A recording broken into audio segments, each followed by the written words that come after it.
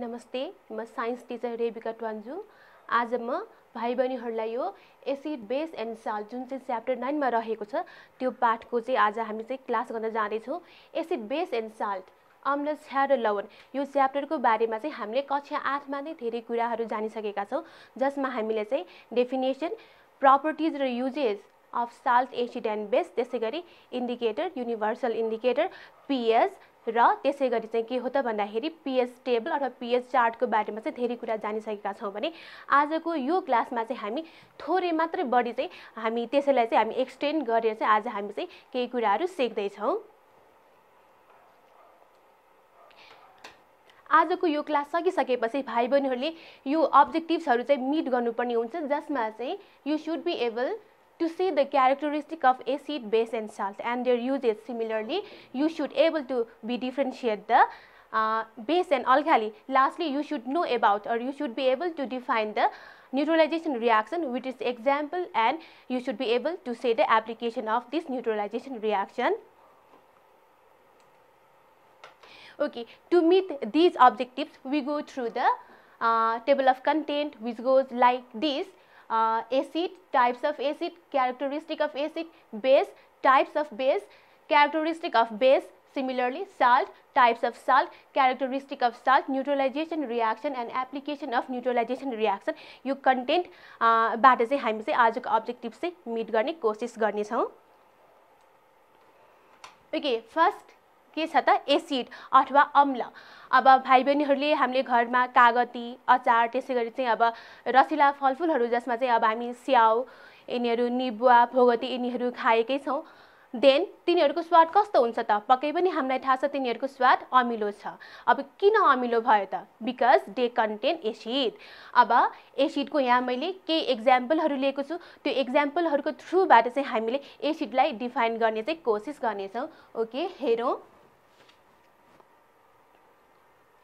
यहाँ मैले तिनवटा इक्जाम्पलहरू लिएको छु जसमा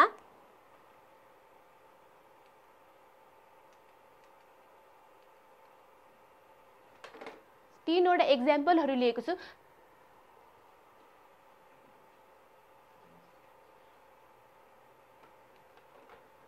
जसमा यो फर्स्ट र सेकेन्ड चाहिँ हाम्रो के हो त? स्ट्रङ एसिड र त्यसै गरी लास्ट चाहिँ हाम्रो के हो त? विक एसिड अथवा यसलाई हामी भन्न सक्छौँ फर्स्ट र सेकेन्ड चाहिँ हाम्रो के हो त भन्दाखेरि इनअर्ग्यानिक एसिड र लास्ट वान चाहिँ हाम्रो के हो त? अर्ग्यानिक एसिड यदि हामीले यी एसिडहरूलाई पानीमा अथवा यसको एक्वेस सोल्युसनमा डिजल्भ गर्ने हो भने यी एसिडहरूमा भएको के हो त बन्ड चाहिँ ब्रेक भएर के हुन्छ त रेसेप रेस्पेक्टिभ क्याटाइन्स र एनाइन्सहरू बन्छ। यसरी रेस्पेक्टिभ एनाइन्सहरू बन्छ भने के हुन्छ त यसमा कमन चिज हामीले के देखिराखेको छ भन्दाखेरि प्रोटोन अथवा चाहिँ हाइड्रोजन आयोन। यसरी एसिडलाई डिफाइन गर्नको लागि अब हामीले के भन्न सक्छौँ त भन्दाखेरि ती केमिकल सब्सटेन्सेसहरू जसलाई चाहिँ हामी चाहिँ पानीमा डिजल्भ गराउने हो भने यदि त्यहाँ प्रोटोन अथवा चाहिँ हाइड्रोजन आयनहरू दिन्छ भने then that is called the proton okay lastly we can set acid is a chemical substance which give hydrogen ion in its aqueous solution. Some of the examples of the uh, acid are hydrochloric acid, sulfuric acid, citric acid, carbonic acid, phosphoric acid, tartaric acid, lactic acid and so on. यसै गरी हामीले एसिडलाई चाहिँ विभिन्न बेसिसमा पनि हामीले classify गर्न सक्छौँ। यहाँ मैले तिनवटा बेसिसलाई चाहिँ आधार मानेर चाहिँ हामीले क्लासिफिकेसन गरेको छौँ जसमा चाहिँ नम्बर वानमा चाहिँ on the basis of source स्रोतको आधारमा हामीले एसिडलाई चाहिँ दुईवटा क्याटेगोरीमा चाहिँ बाँड्न सक्छौँ जसमा चाहिँ अर्ग्यानिक एसिड र इनअर्ग्यानिक एसिड अथवा प्राङ्गारिक अम्ल र अप्राङ्गारिक अम्ल। त्यसै गरी सेकेन्डमा छ on the basis of ionization भन्नाले आयोनीकरणको आधारमा पनि हामीले चाहिँ एसिडलाई चाहिँ दुईवटा टाइप्समा चाहिँ क्याटेगोराइज गर्न सकिन्छ जसमा चाहिँ रहेको छ स्ट्रङ एसिड र विक एसिड अथवा कडा अम्ल र नरम अम्ल। त्यसै गरी लास्टले के हो त गाडापनको आधारमा अथवा चाहिँ कन्सन्ट्रेसन अफ आयन्सको आधारमा पनि हामी एसिडलाई चाहिँ डाइल्युट एसिड र कन्सन्ट्रेटेड एसिड गरेर दुईवटा एसिडमा चाहिँ हामीले चाहिँ विभाजन गर्न सकिन्छ जसलाई चाहिँ हामी भन्न सक्छौँ फिक्का अम्ल र गाडा अम्ल। ओके पहिला अब हामी अन द बेसिस अफ सोर्सको आधारमा चाहिँ जाउँ। ओके फर्स्टमा अर्ग्यानिक अम्ल अथवा प्राङ्गारिक अम्ल। अब प्राङ्गारिक अम्ल भन्ने बित्तिकै हामी के बुझ्न सक्छौँ त भन्दाखेरि भाइ बहिनीहरू जुन चाहिँ जीवित वस्तुहरूमा भएको अथवा चाहिँ जीव जन्तुहरूबाट प्राप्त हुने त्यसै गरी खानाहरूबाट प्राप्त हुने एसिडलाई चाहिँ हामी के भन्छौँ त अर्ग्यानिक एसिड भन्छौँ। अब अर्ग्यानिक एसिडको मलिक्युल्सहरू अथवा स्ट्रक्चर हामीले स्टडी गर्ने हो भने त्यसमा के हुन्छ त हाइड्रोजन र कार्बन चाहिँ इसेन्सियली चाहिँ कन्टेन्ट हुनुपर्छ। र धेरै जसो प्राङ्गारिक अम्लहरू चाहिँ के हुन्छ त हाम्रो विक एसिड अन्तर्गत पर्दछ एक्जाममा चाहिँ भाइ बहिनीहरूलाई चाहिँ यो डिफ्रेन्ट सोर्सेसहरू दिएर चाहिँ त्यसमा कन्टेन्ट एसिडहरूको नाम लेख भनेर चाहिँ प्रायः सोधिरहेको छ। यसको लागि चाहिँ यो विभिन्न सोर्स र त्यो सोर्समा भएको के हो त एसिडहरूको नाम चाहिँ भाइ बहिनीहरूले चाहिँ भन्न सक्नुपर्ने हुन्छ। जस्तै यहाँ मैले केही पोइन्ट्सहरू टेबुलेट गरेको छु जसमा चाहिँ रहेको छ tartaric acid is found in भोगते त्यसै गरी lactic acid is found in curd or sour milk त्यसै गरी ascorbic acid in amla acidic acid in vinegar citric acid in lemon त्यसै गरी in soda water we can find carbonic acid त्यसै गरी फर्मिक acid केमा हुन्छ त कमिला त्यसै गरी अब हाम्रो सिस्नुले पोल्दाखेरि आउने एसिड भनेको फर्मिक एसिड हो। त्यसै गरी टोमेटोमा के हुन्छ त अक्जालिक एसिडहरू हुन्छ। यो पोइन्ट्सहरू चाहिँ नोट गरौँ भाइ बहिनीहरूले अब त्यसै गरी अर्को नेक्स्ट हाम्रो इनअर्ग्यानिक एसिड इनअर्ग्यानिक एसिड अथवा अप्राङ्गारिक अम्ल. अब अप्राङ्गारिक अम्ल भन्नाले चाहिँ भाइ बहिनीहरूले बुझ्नुपर्ने हुन्छ कि मिनरल्सहरूमा प्राप्त हुने अथवा खनिज तत्त्वबाट प्राप्त हुने अथवा चाहिँ ल्याबमा प्रिपेयर गरिने एसिडलाई हामी के भन्छौँ त इनअर्ग्यानिक एसिड अब इनअर्ग्यानिक एसिडमा पनि के हुनुपर्छ त हाइड्रोजन अभियसली हुनै पर्यो र अरू एलिमेन्ट्सहरू चाहिँ हुनुपर्दछ. यसमा चाहिँ जेनरली के हुँदैन त कार्बन चाहिँ हुँदैन. इनअर्ग्यानिक एसिडहरू चाहिँ प्रायः के हुन्छ त स्ट्रङ एसिडहरू चाहिँ हुन्छन्। यसमा पनि भाइ लागि चाहिँ एक्जाम पोइन्ट अफ भ्यूले चाहिँ मैले केही name of inorganic acid with their molecular formula चाहिँ देखाएको छु जसमा रहेको छ hydrochloric acid sulphuric acid nitric acid phosphoric acid hydrogen cyanide hydrogen sulphide carbonic acid र बोरिक एसिड ओके यिनीहरूको मलिकुलर फर्मुला पनि याद गरौँ भाइ बहिनीहरूले अब next on the basis of ionisation के हो त? स्ट्रङ एसिड र त्यसै गरी के हो त? विक एसिड गरी दुई प्रकारको एसिडहरू चाहिँ छन्। अब जसमा फर्स्ट हामी स्ट्रङ एसिडबाट नै जाउँ। अब स्ट्रङ एसिडको कुरा बुझ्नको लागि मैले यहाँ चाहिँ दुईवटा के छ त? हामीले एक्जाम्पलहरू लिएको छु। यो एक्जाम्पललाई चाहिँ म थोरै यहाँ बोर्डमा चाहिँ देखाउन चाहेँ तपाईँहरूको लागि। जस्तै यहाँ एक्जाम्पलमा के छ त? एचसिएल भन्ने चाहिँ एक्जाम्पल रहेको छ। अब एचसिएलमा कस्तो हुन्छ त भन्दाखेरि यसमा चाहिँ अब जुन बन्ड हुन्छ त्यो बोन्ड चाहिँ के हुनुपर्छ त? ब्रेक हुनुपर्छ। अब यदि हामीले एचसिएललाई चाहिँ अब पानीमा राख्ने हो भने चाहिँ के हुन्छ भन्दाखेरि अलमोस्ट के हुन्छ त? अल मलिक्युल्सहरू चाहिँ ब्रेक डाउन हुन्छ। अलमोस्ट अल मलिक्युल्सहरू ब्रेक डाउन अथवा डिसोसिएट भएर के हुन्छ त? यसमा चाहिँ रेस्पेक्टिभ आयोन्सहरू दिन्छ जसमा चाहिँ यसमा चाहिँ प्रोटोन हाइड्रोजन आयन त्यसै गरी चाहिँ क्लोरिन अथवा नेगेटिभ आयन चाहिँ यसरी दिएको हुन्छ। त्यस्तै गरी एस टु एसओफोको पनि कुरा गर्ने हो भने यसमा पनि के हुन्छ त अलमोस्ट अल मलिकुल्स अथवा चाहिँ प्रायः सबै मलिकुल्स के हुन्छ त ब्रेकडाउन अथवा डिसोसिएट भएर के दिन्छ त रेस्पेक्टिभ पोजिटिभ र नेगेटिभ एनाइन्सहरू दिन्छन्। अब यसरी भाइ बहिनीहरूले बुझ्नुपर्ने कुरा भनेको के भन्दाखेरि चाहिँ स्ट्रङ एसिडको केसमा के हुन्छ त प्राय सबै मलिक्युल्सहरू के हुन्छ त डिसोसिएट भएर चाहिँ के दिन्छ त? रेस्पेक्टिभ क्याटाइन्स र एनाइन्स दिन्छ भने अब क्याटाइन्सको रूपमा चाहिँ यसमा चाहिँ के हुन्छ? प्रोटोन हुन्छ। ओके यसमा अब एक्जाम्पलको रूपमा रहेको छ hydrochloric acid sulphuric acid nitric acid hydrogen bromide hydroiodic त्यसै गरी परक्लोरिक र क्लोरिक एसिडहरू यिनीहरू चाहिँ स्ट्रङ एसिड अन्तर्गत पर्दछन्।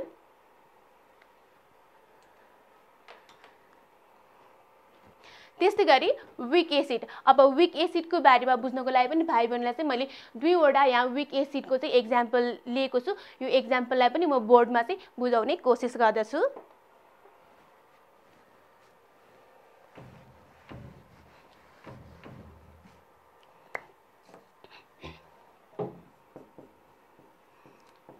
ओके यो भनेको हाम्रो के हो त? फर्मिक एसिड हो।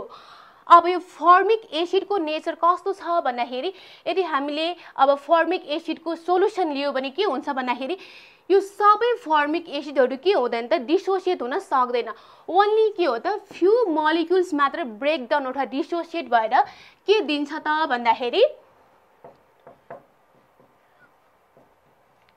यसरी रेस्पेक्टिभ आयन्सहरू दिन्छ फर्मेट आयनहरू के हुन्छ त? हाइड्रोजन आयन अनि अगेन के हुनसक्छ त?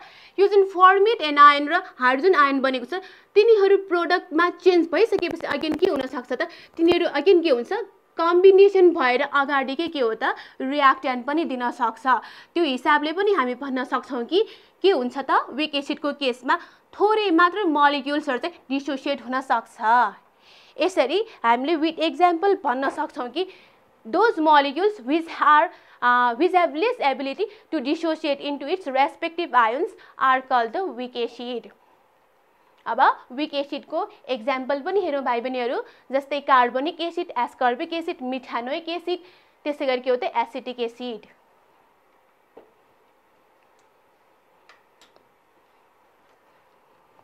भाइ बहिनीहरूलाई मैले यहाँ यो चार्टबाट पनि स्ट्रङ र विक एसिडको बारे चाहिँ अझ बढी क्लियरिफाई गर्ने चाहिँ कोसिस गरेको छु।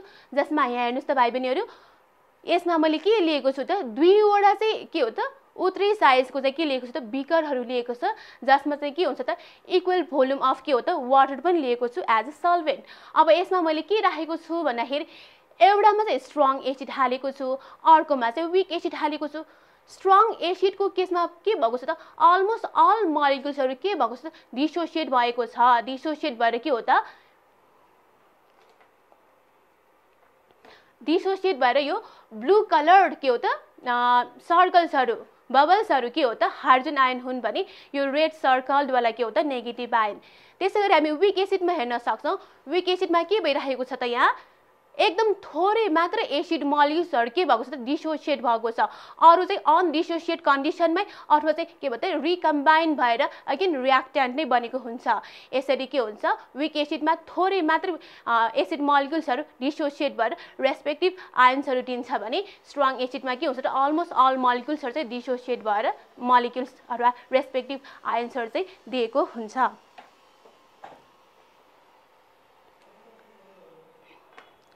अब next about the concentrated acid and dilute acid अब यो डाइल्युट अथवा फिक्का र गाढा अम्लको बारे बुझ्नको लागि पनि हामी यहाँ हेरौँ विथ डायग्राम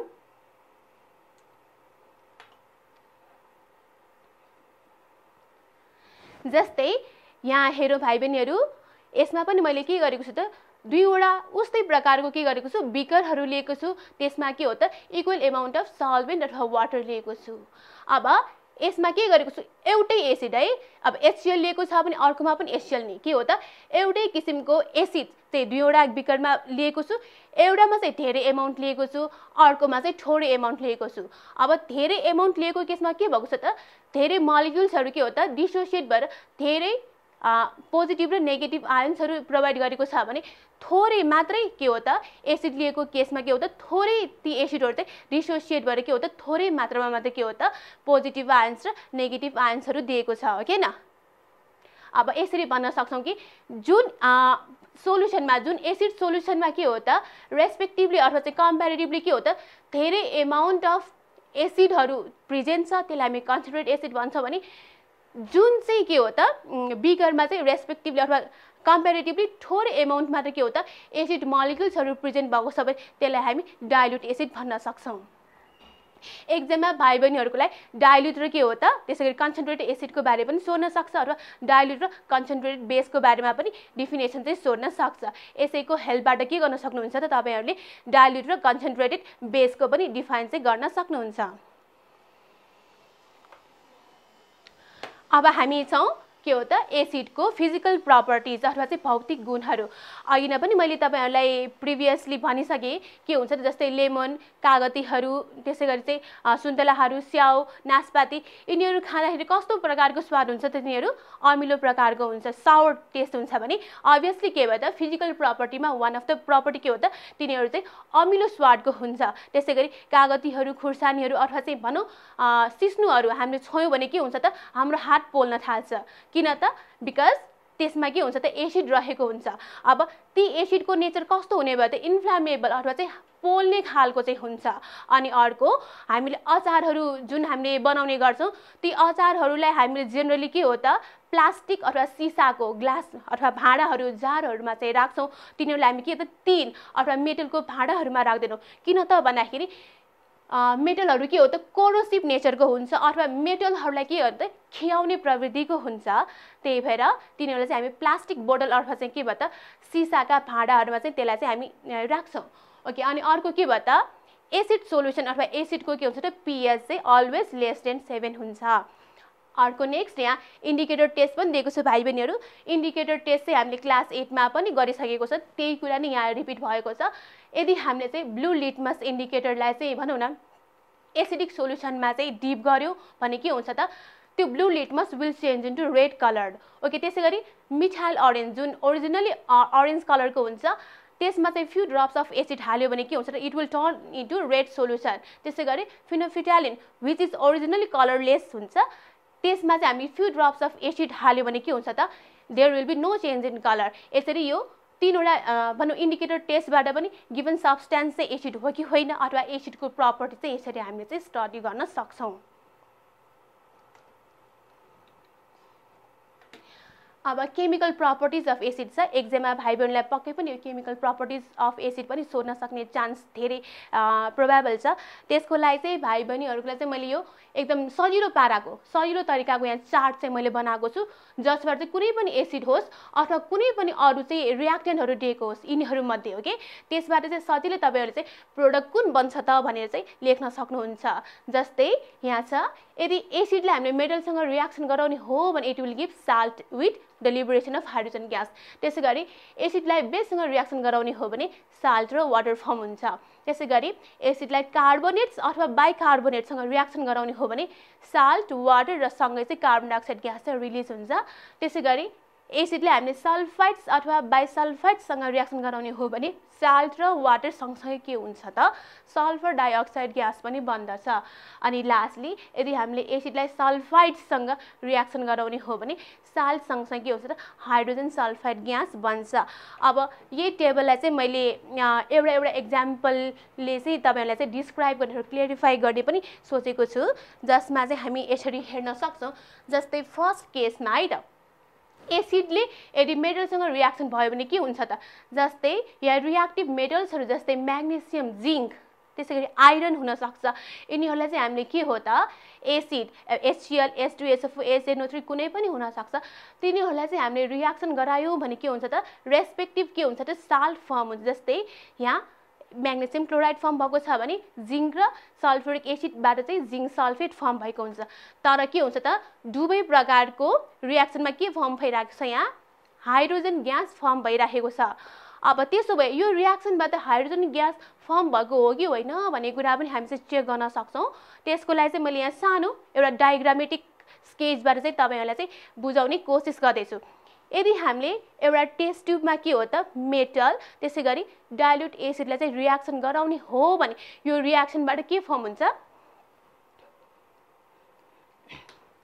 यो रियाक्सनबाट चाहिँ यहाँ रेस्पेक्टिभ साल फर्म हुन्छ जुन एक्वेस स्टेटमै हुन्छ अथवा चाहिँ के हो त? पानीसँगै मिसेर बसेको हुन्छ भने अर्को जुन यो ग्यास बनेको छ नि त्यो चाहिँ के हुन्छ त? यो टेस्ट ट्युबभन्दा माथि अथवा माउतिर चाहिँ रिलिज अथवा जम्मा हुन्छ। त्यो रिलिज भएको हाइड्रोजन ग्यास को यो माउथ नजिकै यदि हामीले चाहिँ बर्निङ म्यास्ट्रिक अरू चाहिँ बर्निङ क्यान्डलहरू अगाडि लग्यौँ भने के हुन्छ त त्यो? त्यो ग्यास बल्न थाल्छ ठिक छ? त्यो ग्यास बल्न थाल्छ। सँगसँगै के हुन्छ? त्यहाँ पप भन्ने साउन्ड पनि आउँछ। यदि त्यो ग्यास एकदम निलो फ्लेमले बल्यो र त्यसै गरी यहाँ पप भन्ने साउन्ड आयो भने चाहिँ पक्कै पनि यो माउथमा के हो त? हाइड्रोजन ग्यास फर्म भएको छ भने चाहिँ हामी चाहिँ यसरी कन्फर्म चाहिँ हुन सक्छौँ। त्यस्तै गरी अब अर्को रहेको छ। यदि एसिडले बेससँग रियाक्सन गर्यो भने के भन्छ त? Salt and water. अब यसमा हेरौँ त यहाँ अब एसिड एचसिएल त्यसै गरी calcium oxide which is base त्यसलाई हामी रियाक्सन गरायो भने सिम्पली के बनिरहेको छ त? Salt and water calcium chloride and के हो त? वाटर। त्यसै गरी एचसिएललाई calcium hydroxide which is also in aqueous state reaction गरायौँ भने के हुन्छ त?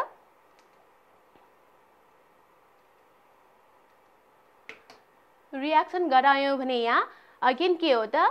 Calcium chloride plus water form भइराखेको छ। यसको मिनिङ के भन्न सक्छौँ त? कुनै पनि एसिडलाई कुनै पनि हामीले बेससँग रियाक्सन गराउने हो भने त्यहाँ के हुन्छ त? रेस्पेक्टिभ साल्टको सँगसँगै के हो त? वाटर चाहिँ फर्म भइराखेको हुन्छ भनेर चाहिँ बुझ्न सक्छौँ। यदि यो साल्ट फर्म भएको चाहिँ हाम्रो न्युट्रल साल्ट हो भने के हो त? यहाँ हामीले लिटमस टेस्ट गऱ्यो भने ब्लू लिटमसको पनि कलर चेन्ज हुँदैन अथवा रेड लिटमसको पनि कलर चेन्ज हुँदैन। ठिक छ? त्यसै गरी यदि हामीले एसिडलाई कार्बोनेट्स अथवा गा बाइकार्बोनेटसँग रियाक्सन गराउने हो भने साल्ट र वाटर फर्म हुन्छ सँगसँगै के हुन्छ त? कार्बन डाइअक्साइड ग्यास पनि फर्म भएको हुन्छ। अब एक्जाम्पलको थ्रु हेरौँ भाइ बहिनीहरू जस्तै यहाँ फर्स्ट एक्जाम्पलमा मैले के लिएको छु त? सोडियम कार्बोनेटलाई हामीले एचसिएलसँग रियाक्सन गराउने हो भने के भनेको छ त? एनएसिएल एनएसिएल चाहिँ हाम्रो के हो त? साल्ट नै हो। यहाँ वाटर पनि फर्म भएको छ र सँगसँगै ग्यास सिओ टू पनि फर्म भएको हुन्छ। त्यसै गरी यो बाइकार्बोनेट ठिक छ? एचसिओ थ्री रेडिकल भएकोलाई हामी के भन्छौँ त? बाइकार्बोनेट्स भन्छौँ। क्याल्सियम बाइकार्बोनेट्सलाई के हो त? एसिड नाइट्रिक एसिडसँग यहाँ रियाक्सन गराएको छु मैले। यहाँ के बन्छ त? रेस्पेक्टिभ के हो त? साल्ट फर्म भइरहेको छ। क्याल्सियम नाइट्रेट त्यसै गरी वाटर त्यसै गरी कार्बन डाइअक्साइड। अब यो रियाक्सनबाट पनि सिओ टू ग्यास फर्म भएको हो कि होइन भन्ने कुरा चाहिँ हामी चाहिँ टेस्टबाट चाहिँ थाहा पाउन सक्छौँ। त्यसको लागि यो डायग्राम हेरौँ भाइ बहिनीहरू जसमा के छ त? यो एउटा बिकरमा हामीले के राखेको छ त? कार्बोनेट अथवा कुनै एउटा बाइकार्बोनेट लिएको छु त्यसमा चाहिँ कुनै एउटा एसिड हालेको छु। यो दुईवटाको रियाक्सनबाट यहाँ के फर्म भइराखेको छ त? CO two gas. अब सिओ टू ग्यासलाई चाहिँ एउटा डेलिभरी ट्युबबाट चाहिँ के गरेको छु त? अर्को टेस्ट ट्युबमा मैले के गर्छु पास गरेको छु। यो अर्को टेस्ट ट्युबमा मैले के लिएको छु त? लाइम वाटर ठिक छ? अथवा क्याल्सियम हाइड्रोक्साइड सोल्युसन। यो क्याल्सियम हाइड्रोक्साइड सोल्युसनमा हामीले सिओ टू ग्यास पास गरायो भने यहाँ के हुन्छ त? भन्दाखेरि चाहिँ बिस्तारै यहाँ के हुन्छ? दहीको टुक्रा जस्तो भएको के हो त? सलिड सब्सटेन्सेस चाहिँ फर्म हुन्छ। ठिक छ? अब यो सलिड सब्सटेन्स के को? भन्दाखेरि क्याल्सियम कार्बोनेटको। यदि क्याल्सियम कार्बोनेट बन्यो भने चाहिँ के हो त? यहाँ सिओ टू ग्यास फर्म भइरहेको छ भनेर हामी चाहिँ कन्फर्म हुन सक्छौँ। अगेन के हो? यदि यो क्याल्सियम कार्बोनेट जुन फर्म भएको छ त्यसमा चाहिँ हामीले कन्टिन्युसली यो सिओ ग्यास जुन इभल्भ भएको छ त्यसलाई पास गराइराख्यो भने के हुन्छ त? केही समयपछि के हुन्छ त? जुन अघि कर्डी वाइट पिपिटी बनेको छ त्यो चाहिँ डिजल्भ भएर अर्को सब्सटेन्स फर्म हुन्छ। कलरलेस के हो त? सब्सटेन्स फर्म हुन्छ सोल्युसन फर्म हुन्छ जसलाई चाहिँ हामी के भन्छौँ त? क्याल्सियम बाइकार्बोनेट यसरी यदि calcium bicarbonate which is colourless solution form भएको छ भने यहाँ इभल्भ भएको ग्यास चाहिँ सिओ टू नै हो भने चाहिँ हामी कन्फर्म हुन सक्छौँ। त्यसै गरी यदि हामीले एसिडलाई सल्फाइड्स त्यसै गरी बाइसल्फाइडसँग रियाक्सन गराउने हो भने यहाँ के भन्छ त भाइ बहिनीहरू साल्ट वाटर र सँगसँगै सल्फर डाइअक्साइड अब यहाँ हेरौँ क्याल्सियम सल्फाइडलाई हामीले केसँग त एससिएलसँग रियाक्सन गराएको हो? त्यहाँ के हुन्छ? क्याल्सियम क्लोराइड साल्ट वाटर र सल्फर डाइअक्साइड ग्यास बनेको छ। त्यसै गरी सोडियम बाइसल्फाइड ओके? सोडियम बाइसल्फाइडलाई अगेन के हो त? हामीले एसिड एचसिएलसँग रियाक्सन गराउने हो भने यहाँ सोडियम क्लोराइड साल्ट बनेको छ वाटर बनेको छ र एसओ टू ग्यास बनेको छ।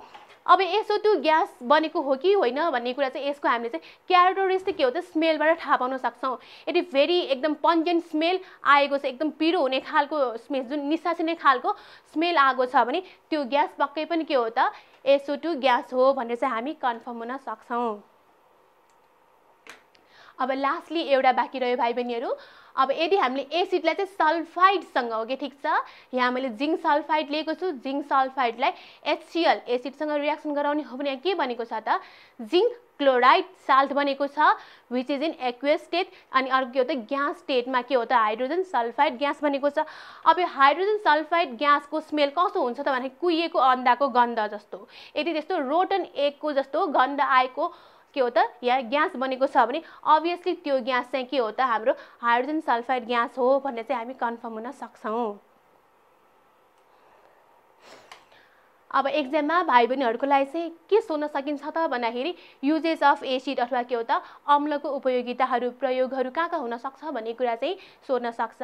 त्यही भएर भाइ बहिनीहरूले चाहिँ कम्तीमा पनि तिन चारवटा चाहिँ याद गरेर जानुपर्ने हुन्छ जसमा चाहिँ मैले केही पोइन्टहरू पनि यहाँ लिस्ट गरेको छु जसमा कार्बोनिक एसिड के को लागि कुन प्रयोजनको लागि युज हुन्छ भन्दाखेरि जस्तै सफ्ट ड्रिङ्क्सहरू नरम पेय पदार्थहरू चिसो पेय पदार्थ जस्तै हामी फ्यान्टा कोका ग्लास स्प्राइटहरू भन्छौँ तिनीहरूमा चाहिँ के युज गरेको हुन्छ? कार्बोनिक एसिड युज गरेको हुन्छ। त्यसै गरी हाइड्रोक्लोरिक एसिड चाहिँ फ्याक्ट्री ल्याबोरेटोरी त्यसै गरी प्रिन्टिङ छपाईहरूमा त्यसै गरी ब्लिचिङ पर्पजहरूमा चाहिँ युज गर्दछ।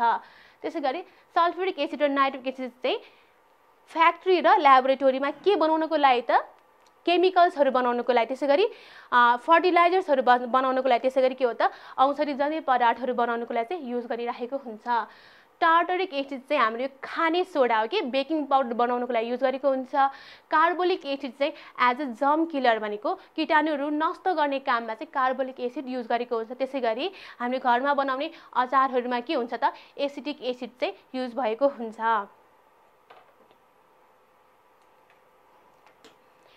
अब छ्यार अथवा बेसको कुरा गरौँ भाइ बहिनीहरू यहाँ डेफिनेसनमा लेखेको छ substance which give hydrogen ions or hydroxide ion when dissolve in aqueous solution भनेको छ यसलाई पनि हामी थोरै बोर्डमा बुझौँ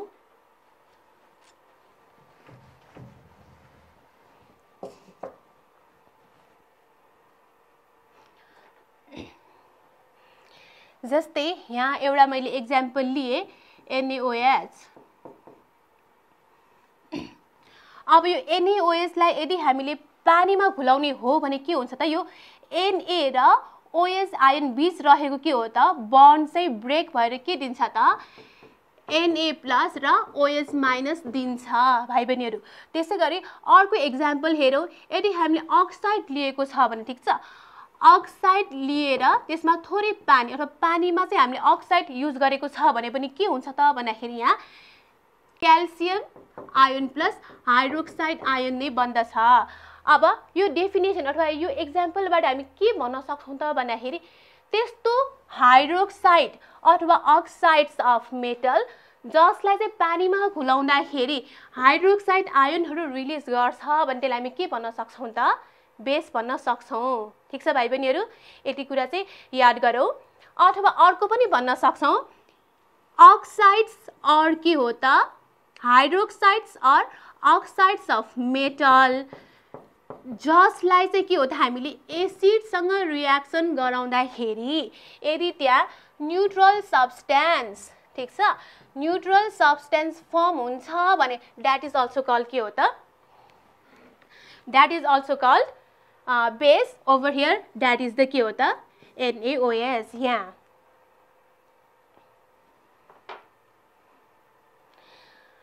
अब बेसको पिएस मान कति हुन्छ त?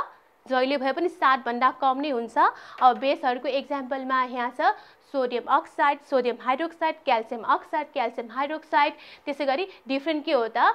क्युप्रिक अक्साइड आइरन अक्साइड अथवा चाहिँ ट्रान्जिसन एलिमेन्टको अक्साइड्स अथवा हाइड्रोक्साइडहरू पनि हुनसक्छ they all are the bases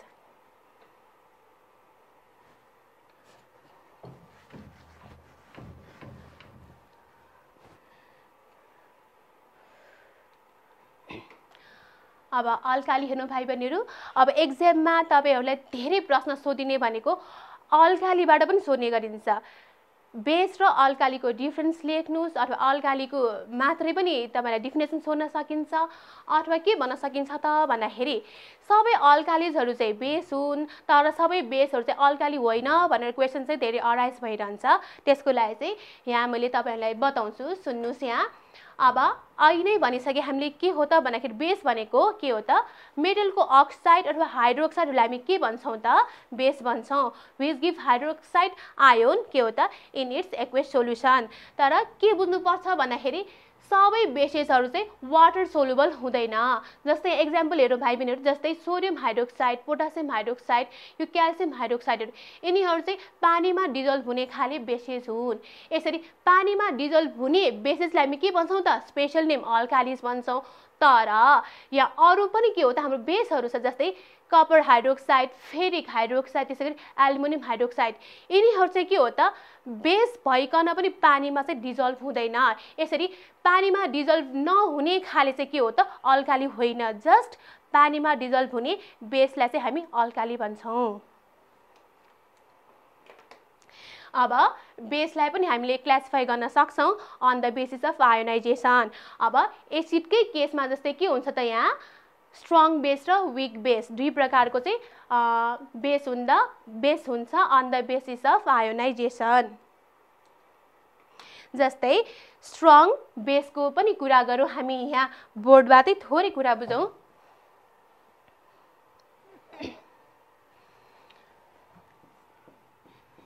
अघि हामीले स्ट्रङ एसिडको बारे बुझिसकेका छौँ भने अब स्ट्रङ बेस बुझ्नको लागि पनि जस्तै एक्जाम्पल एनओएस लिउँ अब यो यसको नेचर कस्तो छ त भन्दाखेरि यदि भाइ बहिनीहरूले चाहिँ यो एनएओएसलाई पानीमा राख्यो भने के हुन्छ त? भन्दाखेरि के हुन्छ त?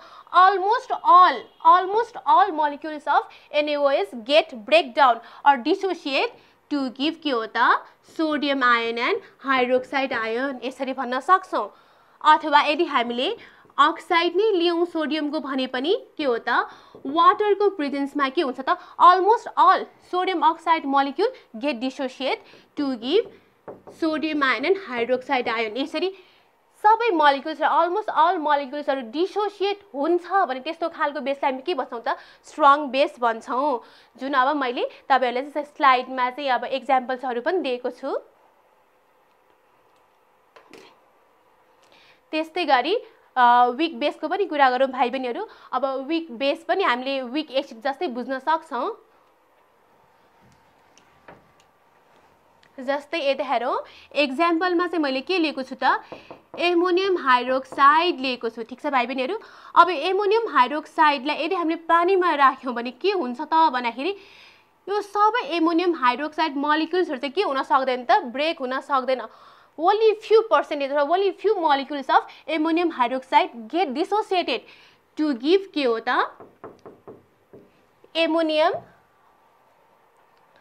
ion and hydroxide ion अब यसको नेचर कस्तो छ त भन्दाखेरि यो विक बेसको यो जुन एमोनियम आयन र हाइड्रोक्साइड आयन बनेको छ त्यो चाहिँ अगेन रिकम्बाइन भएर के हुन्छ त भन्दाखेरि रियाक्सन चाहिँ तिम्रो ब्याकवर्ड डिरेक्सनमा पनि जान सक्छ। अनि के हो त एमोनियम हाइड्रोक्साइड नै बन्छ। यो कारणले गर्दाखेरि पनि के हुन्छ त यो extent of ionisation of the weak base चाहिँ निकै कम हुन्छ। अब एक्जाम्पल्स अफ विक बेसमा हामीले यहाँ लिएको छु जस्तै एमोनियम हाइड्रोक्साइड एमोनिया हाइड्रोजनहरू चाहिँ यिनीहरू चाहिँ केमा पर्छ त विक बेसमा पर्दछ। अब प्रपर्टिजमा जाउँ भाइ बहिनीहरू बेसको चाहिँ प्रपर्टिजमा जाउँ जस्तै अब हामीले नुहाउँदा लुगा धुँदाखेरि साबुन झोल अथवा साबुनको झोल चाहिँ हाम्रो मुखमा परेको होला। कस्तो टेस्ट हुन्छ त? पक्कै पनि तितो अथवा चाहिँ तरो किसिमको टेस्ट हुन्छ होइन अनि त्यसै गरी छुँदाखेरि के हुन्छ त? साबुन पानी छोएको जस्तो सोपी टसी हुन्छ ओके? अनि स्ट्रङ बेसिसले के गर्न सक्छ त? अयल ग्रिजहरूलाई पनि डिजल्भ बनाउन सक्छ अनि स्ट्रङ बेस पनि स्ट्रङ एसिड जस्तो नै के हो त? कोरोसिभ नेचरको चाहिँ हुन्छ ठिक छ? मेटलहरूसँग रियाक्सन गर्ने हाम्रो छालालाई पोल्ने किसिमको हुन्छ। अब यहाँ मैले अगेन के हो त? एसिडमा जस्तै यहाँ के हो त? इन्डिकेटर टेस्ट पनि दिएको छु ओके? इन्डिकेटर टेस्टमा यदि हामीले रेड लिटमसमा चाहिँ अब थोरै एमाउन्ट अफ के हो त बेसिक सोल्युसन लियौँ भने के हुन्छ त त्यो रेड लिटमस चाहिँ ब्लू कलर्डमा चाहिँ चेन्ज हुन्छ। त्यसै गरी मिठाइल अरेन्जमा फ्यु ड्रप्स अफ के हो त हामीले बेस हाल्यौँ। अथवा चाहिँ बेसिक सोल्युसनमा चाहिँ few drops of methyl orange हाल्यो भने के हो त येलो कलर सोल्युसनमा टर्न हुन्छ त्यसै गरी यदि हामीले बेसिक सोल्युसनमा के हो त few drops of phenolphthalein solution use गर्यो भने के हुन्छ त? त्यो सोल्युसन चाहिँ पिङ्क कलरमा चेन्ज हुन्छ। एक्जाम पोइन्ट अफ भ्यूले तपाईँहरूलाई चाहिँ यो इन्डिकेटर टेस्ट चाहिँ सोध्न सक्छ। अब एक्जाममा पक्कै पनि बेसको केमिकल प्रपर्टिजहरू पनि सोध्न सक्छ भाइ बहिनीहरूको लागि। त्यसको लागि चाहिँ मैले अब सजिलो हुने तरिकाले यसरी चाहिँ के हो त? एउटा टेबुलेसन अथवा टेबुलेट बनाएको छु जसमा चाहिँ हामी सजिलै के हो त? कुनसँग कुन रियाक्सन भयो भने कुन प्रोडक्ट बन्छ भनेर चाहिँ हामी फाइन्ड आउट गर्न सक्छौँ। जस्तै हेरौँ यदि हामीले एसिडलाई चाहिँ बेससँग रियाक्सन गरायो भने त्यहाँ साल्ट र वाटर फर्म हुन्छ। त्यसै गरी के हो त बेस अथवा अल्कालीलाई चाहिँ कार्बन डाइअक्साइडसँग रियाक्सन गरायो भने त्यहाँ के फर्म हुन्छ त कार्बोनेट त्यसै गरी वाटर अनि अर्को अल्कालीलाई साल्टसँग रियाक्सन गराउने हो भने इन्सोल्युबल हाइड्रोक्साइड हो कि र त्यसै गरी वाटर फर्म हुन्छ। र लास्टली यदि अल्कालीलाई हामीले एमोनियम साल्टसँग रियाक्सन गराउने हो भने साल्ट वाटर के हो त एमोनिया ग्यास चाहिँ फर्म हुन्छ। अब यो टेबलमा देखाएको कुरालाई चाहिँ हामीले एउटा एउटा इक्जाम्पलको थ्रुबाट अझ बढी चाहिँ हामी बुझ्न सक्छौँ। त्यसको लागि चाहिँ हेरौँ भाइ बहिनीहरू जस्तै एसिडले बेससँग रियाक्सन गर्ने हो भने के हुन्छ त? साल्ट फर्म हुन्छ र वाटर ठिक छ? अब यसमा हेरौँ त एचसिएललाई क्याल्सियम अक्साइडसँग रियाक्सन गर्दाखेरि के बनेको छ त? क्याल्सियम क्लोराइड फर्म भएको छ with the formation of water त्यसै गरी एचसिएललाई क्याल्सियम हाइड्रोक्साइडसँग रियाक्सन गराउँदाखेरि के बनेको छ त? क्याल्सियम क्लोराइड अनि के हो त? अगेन वाटर ठिक छ? अब अर्को हेरौँ भाइ बहिनीहरू यदि हामीले अल्कालीलाई के हो त? कार्बन डाइअक्साइडसँग ट्रिट गराउने हो भने यहाँ कार्बोनेट र वाटर फर्म भएको हुन्छ। अब एक्जाम्पल हेरौँ। एनइओएसलाई सिओ टूसँग रियाक्सन गराउने हो भने सोडियम कार्बोनेट फर्म भएको छ। त्यसै गरी वाटर अनि त्यसै गरी क्याल्सियम हाइड्रोक्साइडले हामीले कार्बन डाइअक्साइडसँग ट्रिट गराउने हो। अथवा क्याल्सियम हाइड्रोक्साइड सोल्युसनमा हामीले कार्बन डाइअक्साइडलाई चाहिँ पास गराउने हो। जुन अघि पनि रिपिट भएको कुरा हो के बन्छ त? मिल्की व्हाइट पार्टिकल्स फर्म हुन्छ। That of the calcium carbon अनि त्यसै गरी वाटर अब जुन कार्बोनेट फर्म भएको हुन्छ त्यो कार्बोनेटलाई पनि हामी चाहिँ टेस्ट गर्न सक्छौँ भाइ बहिनीहरू जस्तै यहाँ हेरौँ यो डायग्राममा यो टेस्ट ट्युब हामीले के लिएको छ त? क्याल्सियम हाइड्रोक्साइड त्यसै गरी के हो त? त्यसमा चाहिँ सिओ टू पास गरेको छ भाइ बहिनीहरू सिओ टू पास गर्दाखेरि के हुन्छ त? यो लाइमोड चाहिँ बिस्तारै मिल्कीमा टर्न हुन्छ ठिक छ? मिल्कीमा टर्न हुनु भनेको क्याल्सियम कार्बोनेट फर्म हुनु हो जुन चाहिँ सलिड स्टेटको चाहिँ प्रेसिपिटेट फर्म हुन्छ। अब यो टेस्ट ट्युबमा हामीले के हो त कन्टिन्युसली अथवा चाहिँ अलि लामो बेरसम्म चाहिँ यो सिओ टू ग्यास चाहिँ हामी पास गरिराख्यो भने के हुन्छ त यो अगेन के हुन्छ त डिजल्भ भएर यहाँ कलरलेस सोल्युसन अथवा चाहिँ भनौँ न क्लियर सोल्युसन फर्म हुन्छ के को त भन्दाखेरि क्याल्सियम बाइकार्बोनेटको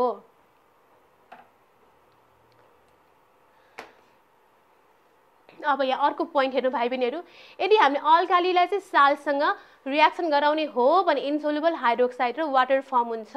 अब एक्जाम्पलको थ्रुबाट बुझौँ। यदि हामीले एउटा साल्ट कपर सल्फेटलाई के हो त हामीले यहाँ एनइओएस बेससँग रियाक्सन गराउने हो भने यहाँ के फर्म भइराखेको छ? कपर हाइड्रोक्साइड अब कपर हाइड्रोक्साइड यहाँ यहाँ के लेखेको छु मैले? ब्राकेटमा एस यो भनेको सलिड स्टेट भनेको हो यहाँ। सोल्युसन स्टेटमा नभइकन यो कपर हाइड्रोक्साइड जुन फर्म भएको हुन्छ त्यो चाहिँ कस्तो हुन्छ त? ब्लुइस ग्रिन कलर्ड सलिड चाहिँ फर्म भएको हुन्छ with the by product sodium sulphate. त्यसै गरी यदि हामीले फेरि क्लोराइड सोल्युसनलाई एमोनियम हाइड्रोक्साइडसँग ट्रिट गराउने हो भने यहाँ अगेन के हुन्छ त? एमोनियम सरी यसलाई फेरि बुझौँ आइरन हाइड्रोक्साइडको ठिक छ? फेरिक हाइड्रोक्साइडको के हुन्छ त? रेडिस ब्राउन कलर्ड भएको सलिड फर्म हुन्छ। As a precipitated as and with by product ammonium chloride. Okay lastly रहेको छ अल्कालीलाई चाहिँ हामी एमोनियम साल्टसँग ट्रिट गर्दाखेरि salt water ammonia gas form हुन्छ भनेर। अब एक्जाम्पल हेरौँ भाइ बहिनीहरू यदि हामीले एमोनियम साल्ट ठिक छ एमोनियम क्लोराइड हुनसक्छ अथवा त्यो चाहिँ एमोनियम कार्बोनेट हुनसक्छ अथवा अरू कुनै हुनसक्छ त्यसलाई चाहिँ हामीले बेस फर्स्ट केसमा चाहिँ मैले यहाँ एनएओएससँग ट्रिट गराएको छु। यहाँ के फर्म भइरहेको छ? एनएसिएल साल्ट वाटर र एमोनिया ग्यास। सेकेन्ड केसमा पनि त्यसै गरी के फर्म भइरहेको छ त? Ammonia gas. अब यो एमोनिया ग्यासको स्मेलबाट हामी कन्फर्म हुन सक्छौँ कि यहाँ एमोनिया ग्यास बनेको छ कि छैन। यदि के हो त एकदम पन्जेन्ट अथवा पिरो खालको ठिक छ? निसासिने किसिमको पिरो खालको चाहिँ ग्यास त्यहाँ इभल्भ भएको छ भने त्यो चाहिँ पक्कै पनि एमोनिया ग्यास चाहिँ हुनुपर्छ अथवा एमोनिया ग्यास हो भनेर हामी कन्फर्म हुन सक्छौँ। अब भाइ बहिनीहरूको लागि चाहिँ अब एसिडमा जस्तै के हो त बेसमा पनि त्यसको युजेजहरू प्रयोगहरू अथवा एप्लिकेसनहरू सोध्न सक्छ। त्यसको लागि चाहिँ दुई चारवटा चाहिँ पक्कै पनि याद गरेर चाहिँ जानुपर्ने हुन्छ हामीले एक्जाम पोइन्ट अफ भ्यूले अब यहाँ हेरौँ जस्तै भाइ बहिनीहरू सोडियम हाइड्रोक्साइड केमा युज हुन्छ त soap फ्याक्ट्रीमा paper factory purification of petroleum products त्यसै गरी पोटासियम हाइड्रोक्साइड जस्तै सफ्ट सोप प्रोडक्सन भनेको नरम साबुनहरू यो नुहाउने साबुनहरू कस्मेटिक मा युज हुने के हो त साबुनहरू बनाउनु छ भने त्यसमा के हो त पोटासियम हाइड्रोक्साइड युज हुन्छ। त्यसै गरी क्याल्सियम हाइड्रोक्साइड अथवा स्लेक लाइम कहाँ त मोर्टर त्यसै गरी ब्लिचिङ पाउडरहरू बनाउनुको लागि युज हुन्छ। क्विक लाइम चाहिँ सिमेन्ट फ्याक्ट्री सुगर फ्याक्ट्री सुगरको के हो त प्युरिफिकेसनमा चाहिँ यो क्विक लाइम युज गरेको हुन्छ। अनि अर्को कडा पानीलाई यदि नरममा परिणत गर्नु छ भने पनि क्विक लाइम युज गर् युज गरिन्छ। त्यसै गरी लाइम वाटर चाहिँ ल्याबोरेटोरी युज भर्खर पनि हामीले टेस्टहरू गऱ्यौँ लाइम वाटर टेस्ट गऱ्यौँ। त्यसै गरी म्याग्नेसियम हाइड्रोक्साइड के हो त? पेटमा भएको अम्लीयपन घटाउनको लागि चाहिँ युज हुन्छ। एन्टासिड बनाउनुको लागि चाहिँ म्याग्नेसियम हाइड्रोक्साइड युज हुन्छ युज हुन्छ भने एमोनियम हाइड्रोक्साइड चाहिँ डाइज रङ्गरोधन प्लास्टिक केमिकल फर्टिलाइजरहरू त्यसै गरी नाइट्रिक एसिड बनाउनको लागि चाहिँ युज भएको हुन्छ। अब आयो भाइ बहिनीहरू साल्ट ओके लवण। अब लवणको डेफिनेसनको लागि चाहिँ हामी एसिडमा पनि पढिसक्यौँ बेसमा पनि पढिसक्यौँ। यदि एसिडलाई बेससँग अथवा बेसले चाहिँ एसिडसँग रियाक्सन गराउने हो भने त्यहाँ के फर्म हुन्छ त? न्युट्रल सब्सटेन्स फर्म हुन्छ भनेको छ एलोङ विथ वाटर त्यो न्युट्रल सब्सटेन्स फर्म जुन भएको छ त्यसलाई नै हामी के भन्छौँ त? साल्ट ओके अब साल्टको अर्को डेफिनेसन पनि छ। यहाँ एकचोटि सुनौ। Salt is a neutral substance form by the combination complete or partial displacement of hydrogen in an acid by a metal or basic radical. अब यो डेफिनेसनलाई बुझाउनको लागि चाहिँ म थोरै तपाईँहरूलाई चाहिँ बोर्डमा हेर्नको लागि चाहिँ आग्रह गर्दछु। हेरौँ एकचोटि।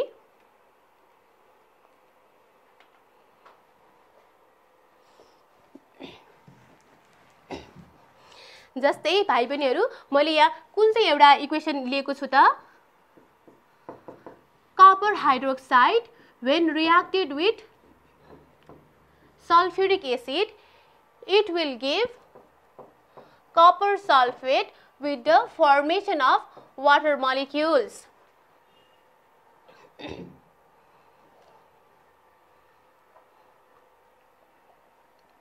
अब यो रियाक्सनलाई हामी चाहिँ स्टेप वाइज गरेर हेरौँ के हुन्छ त जस्तै यहाँ कपर हाइड्रोक्साइडलाई हामीले आयोनाइज गरेर हेर्ने हो भने के हुन्छ त यहाँ? Copper ion plus hydroxide ion form हुन्छ। अब यो जुन पोजिटिभली चार्ज रेडिकल छ त्यसलाई हामी के भन्छौँ त? Basic radical. अथवा यसलाई हामी मेटालिक रेडिकल पनि भन्न सक्छौँ। अनि यो अर्को भनेको के हो त हाम्रो हाइड्रोक्साइड आयन भयो। अब त्यसो भए एक्जाममा तपाईँहरूको लागि मेटालिक रेडिकल अथवा बेसिक रेडिकल भनेको के हो भनेर पनि सोध्न सक्छ। अब बेसिक रेडिकल भनेको के हो त भन्दाखेरि के हो त? बेसबाट आएको रेडिकल एक्सेप हाइड्रोक्साइड आयन ठिक छ? बेसबाट आएको पोजिटिभली चार्ज रेडिकल के हो त? एक्सेप हाइड्रोक्साइड त्यसलाई हामी के भन्छौँ? बेसिक रेडिकल अब अर्को सल्फ्युरिक एसिडको केस हेरौँ। अब सल्फ्युरिक एसिड कसरी आयोनाइज हुन्छ त? H plus SSO four minus यसरी पनि आयोनाइज हुनसक्छ ठिक छ? प्रोटोन पनि दिन सक्छ सँगसँगै के हो त? बाई बाई सल्फेट रेडिकल पनि दिन सक्छ। अगेन यो बाई सल्फेट रेडिकल यसरी पनि आयोनाइज हुन्छ। अगेन के हो त? यसले एउटा चाहिँ प्रोटोन लुज गरेर सल्फेट रेडिकल पनि दिन सक्छ। यो भनेको हाम्रो सल्फेट रेडिकल भयो। अब भाइहरू यहाँ सुनौ त एकचोटि। यो बाइसल्फेट रेडिकल अथवा सल्फेट रेडिकल भनेको कहाँबाट आएको त? एसिडबाट आएको अथवा यो रेडिकल एसिडको पार्ट हो। त्यसो भए hydrogen बाहेकको radical that came from acid skull के हो त? एसिड रेडिकल अथवा यो एसिड रेडिकललाई हामी के पनि भन्न सक्छौँ त? नन मेटालिक रेडिकल पनि भन्न सक्छौँ। यो एक्जाममा तपाईँहरूलाई विथ एक्जाम्पल डेफिनेसन चाहिँ सोधिराखेको हुन्छ। याद गरौँ भाइ बहिनीहरू अब त्यसो भए अब साल कसरी फर्म हुन्छ त? हेरौँ। जस्तै यहाँ यो कपर आयन छ। यो कपर आयनले के गर्न सक्छ त? एसिडमा भएको यो हाइड्रोजनलाई के गर्न सक्छ त? पार्सियली पनि के गर्न सक्छ त? हटाउन सक्छ अथवा डिस्प्लेस गर्न सक्छ। अथवा के हो त? यो कपर आयनले एउटा स्टेप फेरि लेखौँ भाइ बहिनीहरू। एस टू एसओ फोर सिधै पनि के हुनसक्छ त? दुईवटा प्रोटोन दिएर सल्फेट रेडिकल पनि दिन सक्छ। यो कपर रेडिकलले यो सल्फ्युरिक एसिडको एउटा मात्र हाइड्रोजन अथवा पार्सियली के हो त डिस्प्लेस गरेर पनि साल दिन सक्ने भयो भने अर्को चाहिँ के हो त यो कपर रेडिकल के हो त यो पुरै हाइड्रोजनलाई डिस्प्लेस गरेर के हो त अर्को साल पनि फर्म हुन सक्छ। अब यहाँ दुई थरीको चाहिँ साल्ट बन्छ जस्तै सियुएसएसओ फोर अनि अर्को त्यसै गरी सियुएसओ फोर अब यो साल्ट कसरी फर्म भएको छ त भाइ बहिनीहरू हाइड्रोजनलाई के गरेको छ त? पार्सियली मात्रै डिस्प्लेस गरेको छ। एसिडबाट एसिडबाट। त्यसै गरी यो कपर सल्फेट कसरी बनेको छ त? यो कपर आयनले के हो त? एसिडमा भएको हाइड्रोजनलाई के हो त? फुल्ली अथवा कम्प्लिटली डिस्प्लेस भएको छ।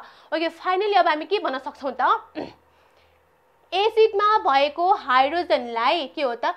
बेसिक रेडिकल अथवा के हो त मेटालिक रेडिकलले कम्प्लिटली अथवा चाहिँ पार्सियली डिस्प्लेस गरेर यदि त्यहाँ सब्सटेन्स फर्म भएको छ भने त्यसलाई हामी के भन्छौँ त साल्ट भन्छौँ। In this way we can define salt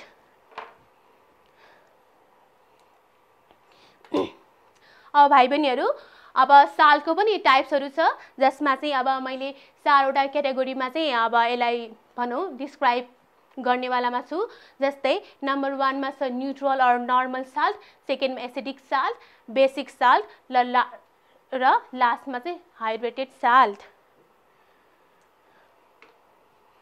number वानमा रहेको छ के त? नर्मल अथवा न्युट्रल साल्ट ओके अब न्युट्रल साल्ट कसरी फर्म हुन्छ त? भन्दाखेरि यो सजिलो छ भाइ बहिनीहरू बुझ्नको लागि।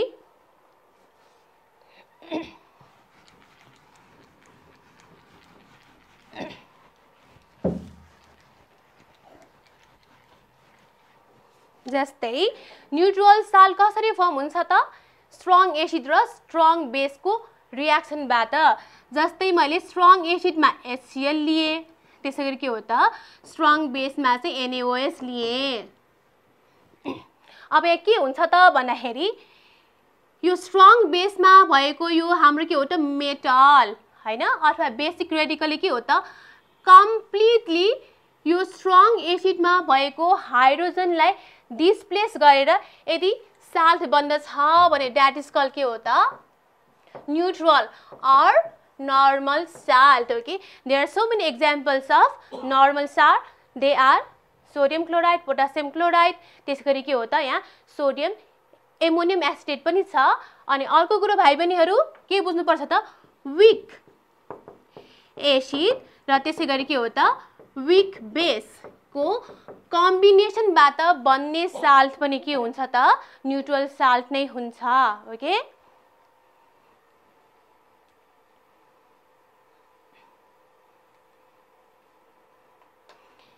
अब नेक्स्टमा रहेको छ एसिडिक साल्ट ओके अब एसिडिक साल्टलाई बुझ्नको लागि पनि यहाँ म सानो एउटा भनौँ न इक्जाम्पलबाट चाहिँ बुझाउन चाहन्छु।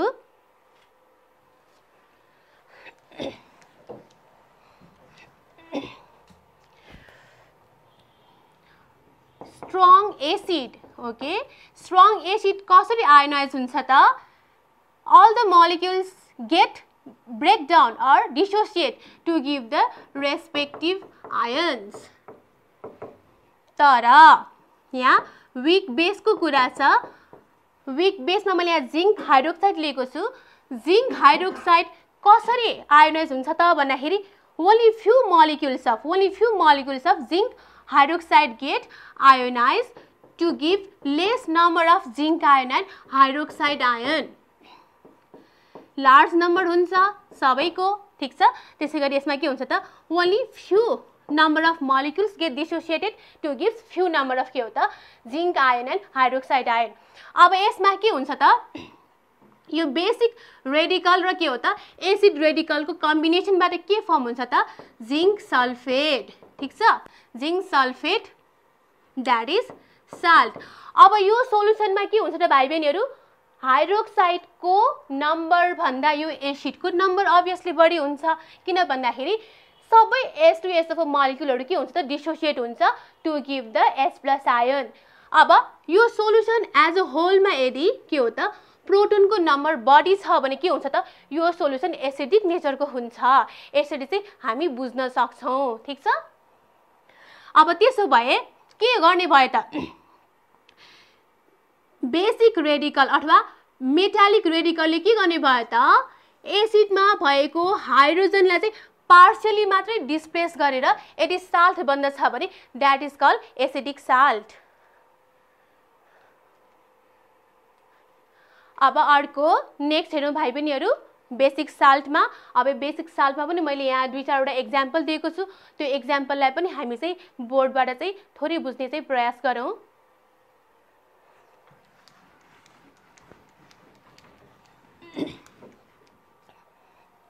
यहाँ पहिला विक एसिडको कुरा गरौँ।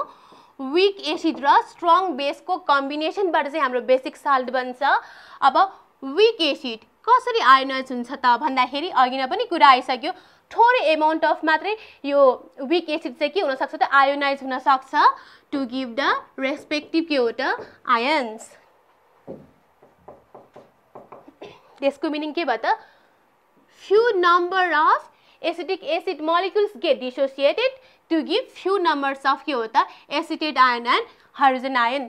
त्यसै गरी स्ट्रङ बेस यहाँ एनओएस लिएको छु भाइ बहिनीहरू यो एनओएस कसरी आयोनाइज हुन्छ त almost all molecules okay almost all molecules get dissociated or ionize to give sodium ion and hydroxide ion त्यसो भए अब यहाँ साल्ट कसरी फर्म हुन्छ त? बाई द कम्बिनेसन अफ के हो त? Metallic and non-metallic radical. That is positive radical and negative CS3 CONA अब भाइ बहिनीले के चाहिँ फाइन्ड आउट गर्नुपर्छ त भन्दाखेरि यो सोल्युसन एज अ होलमा के हुन्छ त?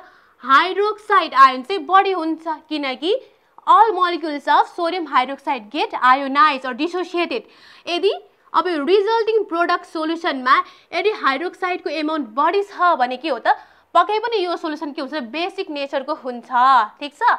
अब यसरी बेसिक नेचरको सोल्युसन हुने भएको भएर चाहिँ के हुन्छ त यो साल्ट हामी के भन्न सक्छौँ त? बेसिक साल्ट भन्न सक्छौँ। यहाँ डिफिनेसनमा पनि छ भाइ बहिनीहरू अब बेसिक साल्ट कसरी फर्म हुन्छ त? Salt that is form by the partial displacement of के हो त? Hydroxide ion which is present in base by the के हो त? Acid radical or non metallic radical यसरी। अब लास्टमा रहेको छ भाइ बहिनीहरू hydrated water sorry hydrated salt okay hydrated salt भने बित्तिकै के भयो त? वाटर अफ क्रिस्टलाइजेसन भएको साल्टलाई चाहिँ हामी के भन्छौँ त? हाइड्रेटेड साल्ट भन्छौँ। जसमा अब एक्जाम्पलमा के छ त यहाँ? ब्लु भिट्रियोल छ। अब यो यसलाई हामी निलो टुठो पनि भन्छौँ। यो हामीले अब भनौँ यसको प्रिपरेसन पनि गर्न सक्छौँ बाहिर क्रिस्टलाइजेसन मेथड त्यसै गरी के हो त यहाँ? प्लास्टर अफ पेरिस छ। यसमा कतिवटा वाटर मलिकुल छ त? हाफ एस टू हो ठिक छ?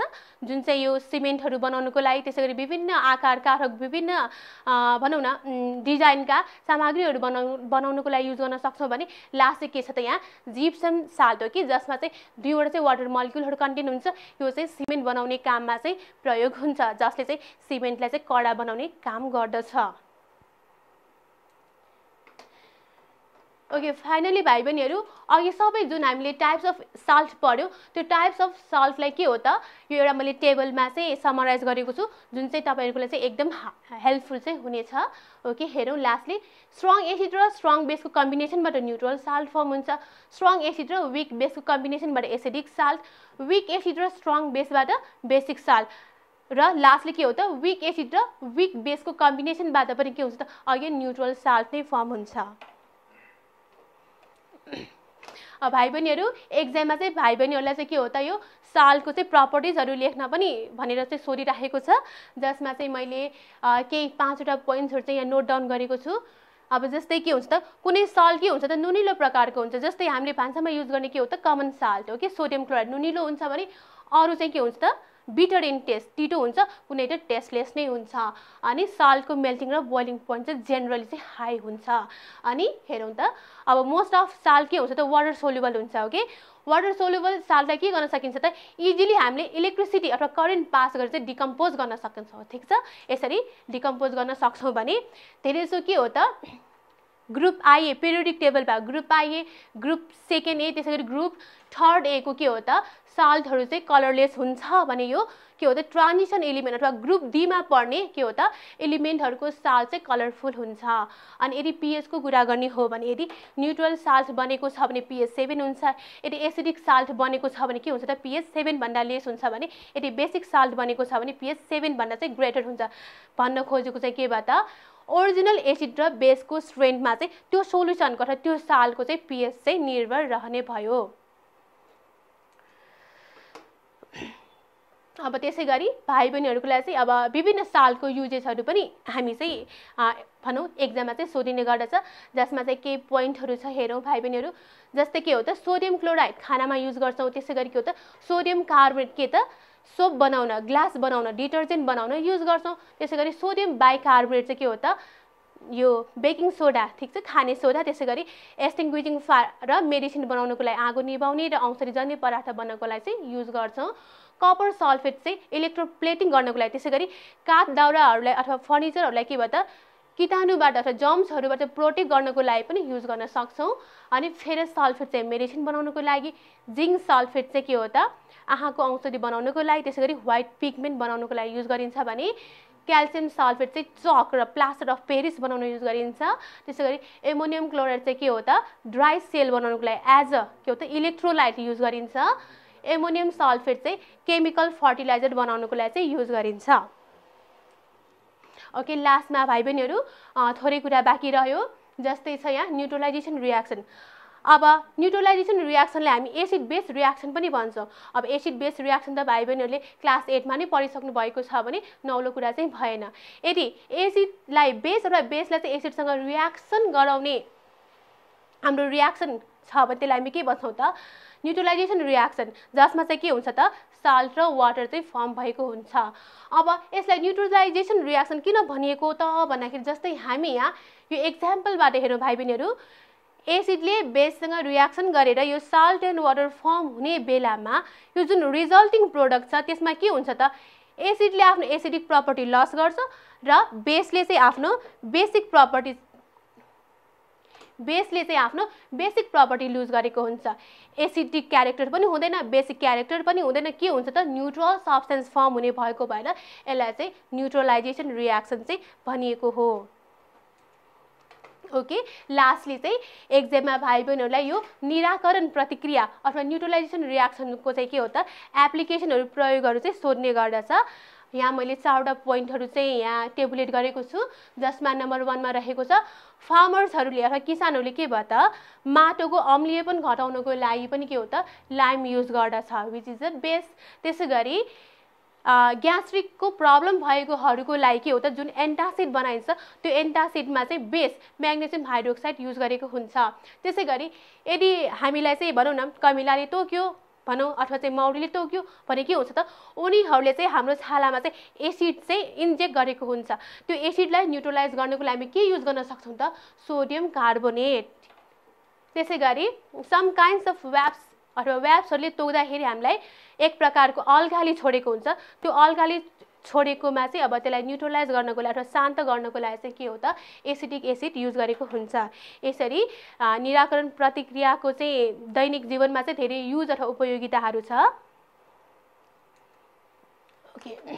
लास्टमा भाइ बहिनीहरूलाई चाहिँ यो च्याप्टरबाट चाहिँ धेरै जस्तो चाहिँ वान मार्क्सको क्वेसन नलेज टाइप त्यसै गरी अन्डरस्ट्यान्डिङ टु टाइप्सको चाहिँ टु मार्क्सको चाहिँ क्वेसनहरू चाहिँ प्रायः सोधिरहेको हुन्छ भने कहिलेकाहीँ मात्र के हो त थ्री मार्क्समा चाहिँ सोध्ने गरिन्छ। अब इक्वेसनहरू प्रायः सबैको एन्सर त मैले भनि नै सकेँ र स्लाइडमा पनि पाउन सक्नुहुन्छ। अब फेरि भन्न चाहिँ आवश्यक नहोला।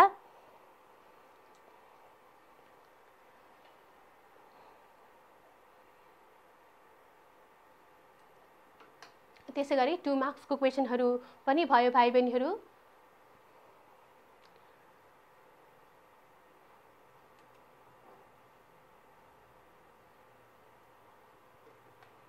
अब टु मार्क्सको क्वेसनमा चाहिँ म यसरी सर पढिदिन्छु भाइ बहिनीहरू जस्तै वानमा रहेको छ why water can be considered as an acid as well as base रे अब यो एक्जाममा तपाईँहरू झुकिन सक्नुहुन्छ। वाटरलाई बेस पनि मान्न सकिन्छ।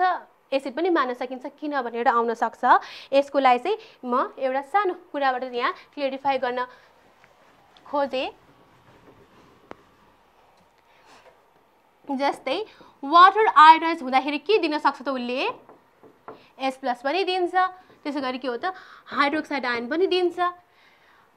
प्रोटोन र हाइड्रो हाइड्रोक्साइड आयन दुवै दिने भएको भएर के हो त? वाटरलाई हामी एसिड पनि बेस पनि मान्न सक्छौँ। जस्तै यहाँ एचसिएलमा हामीले पानी राख्ने हो भने के हुनसक्छ त भन्दाखेरि यो एचसिएल हामीलाई थाहा छ एसिड हो। एसिडको प्रेजेन्समा के हो त? वाटरले बेसको काम गर्छ। जस्तै यहाँ के हुन्छ त? यो वाटर मलिकुलले के हो त? प्रोटोन गेन गर्छ। र एचसिएल मलिकुलले के हो त? प्रोटोन चाहिँ लुज गरेर के हो त? क्लोराडाइन दिन्छ। इन दिस वे त्यसै गरी यदि बेसको केसमा हामीले वाटर राख्यौँ भने जस्तै एमोनिया भनेको त बेसिक नेचरको हुन्छ हामीलाई थाहा छ। अब बेसको प्रेजेन्समा चाहिँ के हुन्छ त? वाटर चाहिँ एसिडको काम गर्छ भनेको वाटरले के दिन्छ त? प्रोटोन लुज गर्छ र यहाँ एमोनियम आयन बन्छ। ओके यसरी के हो त? कन्डिसन अनुसार एसिड र बेस दुवैको काम गर्न सक्छ। त्यही भएर चाहिँ के हो त? Water is considered as acid as well as base અને what are acid radicals and basic radicals? Okay define with examples. Write an example of strong acid and strong base. Give the balanced chemical equation of the reaction between them. Why it is suggested to use soap to a person suffering from b or ant by how is magnesium ribbon made? Alkali. Write anyone use of it with reaction. Why is NaSSO4 called acidic solution? What is the pH value of the products of acid and base reaction? अब यसमा चाहिँ अघि भनेको जस्तै यदि neutral substance form भएको छ neutral salt form भएको छ भने पिएच सेभेन हुन्छ। यदि एसिडिक साल्ट फर्म भएको छ भने त्यो सोल्युसनको चाहिँ पिएच के हुन्छ लेस देन सेभेन हुन्छ भने यदि बेसिक सोल्युसन फर्म भएको छ भने त्यसको पिएच चाहिँ सेभेनभन्दा माथि हुन्छ। Write the molecular formula of any such salt study the following chemical reaction and answer the questions below when sodium hydroxide react with SNO3 it will give sodium nitrate and water त्यसै गरी KOS reacted with HCl to give KCl and water and the questions are write the name of an acid and a base from the above reaction अनि अर्को लास्टमा चाहिँ write the name of the salt produced अब यो लास्टको चाहिँ के हुनसक्छ त यिनीहरू सबै थ्री टु मार्क्सकै क्वेसन हो भने मिलाएर पनि थ्री मार्क्समा चाहिँ सोध्न सकिन्छ भाइ बहिनीहरू यसरी हामीले यो च्याप्टर चाहिँ यहाँ सकायौँ। पक्कै पनि तपाईँहरूको लागि हेल्पफुल र फ्रुटफुल भएको हुनुपर्छ। यो यहाँ जति पनि मैले क्वेसनहरू चाहिँ यहाँ अरेन्ज गरेको छु टेबलेट गरेको छु लिस्ट आउट गरेको छु त्यसलाई चाहिँ भाइ बहिनीहरू चाहिँ घरमा चाहिँ गर्ने प्रयास गर्नुहोला र केही कन्फ्युजनहरू भयो भने चाहिँ तपाईँहरू चाहिँ आफ्नो टिचर म्यामहरूलाई पनि सोध्न सक्नुहुन्छ भने यो स्क्रिनको मुनि देखाइरहेको जिमेल एड्रेसमा पनि तपाईँहरू चाहिँ कन्ट्याक्ट गरेर चाहिँ अझ बढी चाहिँ क्लियरिफाई चाहिँ हुन सक्नुहुन्छ। आजको लागि चाहिँ यति नै भयो भाइ बहिनीहरू अर्को क्लास लिएर पक्कै पनि आउनेछु। धन्यवाद। नमस्ते।